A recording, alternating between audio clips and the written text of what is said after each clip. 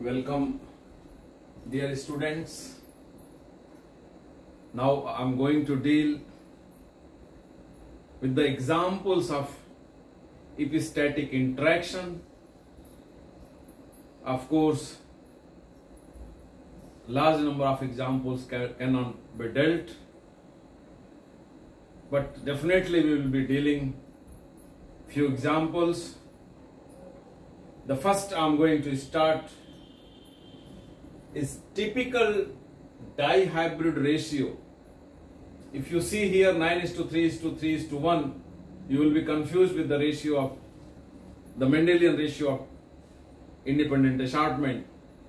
Here I would like to emphasize again, just recall that the Mendel has taken two characters the shape of the grain and the color of the grain. They are two different characters, they are two different genes controlling that, and they are located on different chromosomes. That is why he got independent assortment. But once a single trait, if it is controlled by two genes, three genes, four genes, different cases, here I will be dealing only two genes interactions because it is very tough to describe all the interactions with many genes. So we will be dealing with the interactions of two genes and their ratios. So here I would like to say that this is different from the Mendelian principle. Here a single trait, single character is being controlled by two different genes. If these two different genes are coming separately, they are giving different two different types of trait. In both genes are coming together in dominant phase, they are going to give the third type of trait. If both the genes are coming together in recessive form, they are going to give the fourth type of trait. So, I'll be, to deal with the typical dihybrid ratio 9 is to 3 is to 3 is to 1 in F2 generation, I'm going to put the comb character of poultry. If you see the comb trait, if your comb, you, you know very well the comb in the poultry. So, uh, which I have, I have tried to explain the comb character here. I have drawn myself. Of course, I'm not very good in drawing, but I have tried to show you the different characters of uh, uh, comb of poultry here. If you see, if if a particular gene, one gene is coming along with second gene controlled by if it is controlled by two genes if one gene is in dominant position and another is coming in a recessive position this is going to give a different comb character. Say for example if rose rose type comb is controlled by capital R capital R and if pea type comb is controlled by capital P capital P so if dominant character is coming uh, dominant alleles are coming along with the recessive alleles of another gene then the dominant one is will be the phenotype of the progeny. Here if you see capital R capital R small p small p is going to give you the rose type of comb. And another case capital R small r is also going to give you the rose type if it is coming with small p small p. So all the poultry will be of pea type comb if they are having this type of genotype. The another is the case here. The dominant gene is seen. Here small r small r capital p capital p. That poultry will be pea type of comb small r small r capital P small p that poultry will be of pea type comb. So here it means that once a trait is controlled by two genes and both genes are coming together, the dominant gene phenotype will be expressed. As you have seen, whether dominant is rose, so rose type will be seen. Whether uh, dominant is P, coming with the recessive of rose, so P will be seen. Now you see, if both the genes are coming together in dominant phase, then the third type of comb character is coming. Here you see. Uh, yeah, the different type of comb is here, you see here.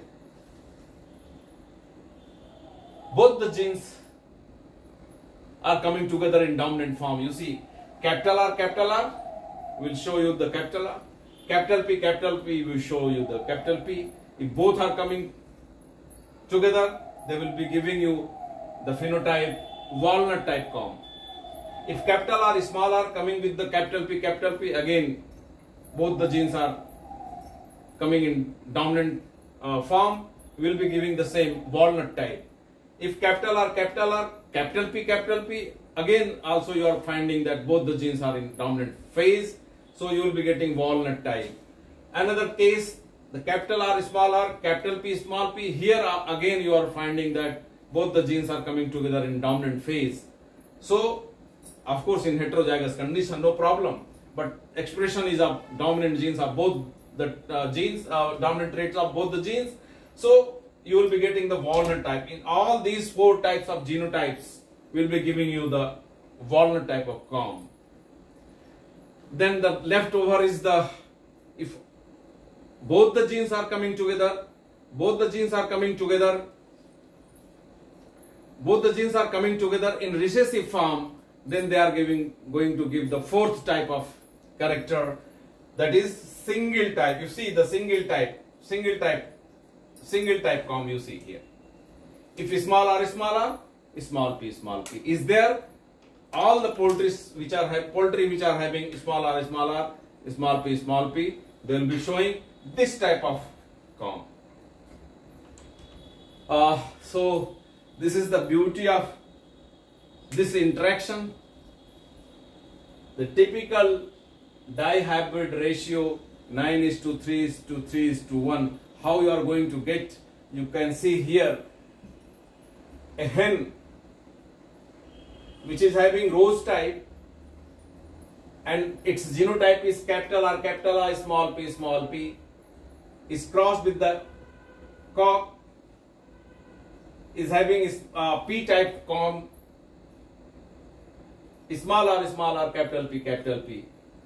What you are going to get the all the progeny all the chickens, all the chicks will be having walnut type of comb.